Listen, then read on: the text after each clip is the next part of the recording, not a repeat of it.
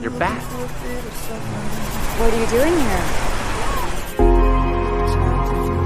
What are you doing down there? So how are you, Nick? I'm great. How you been? I'm busy.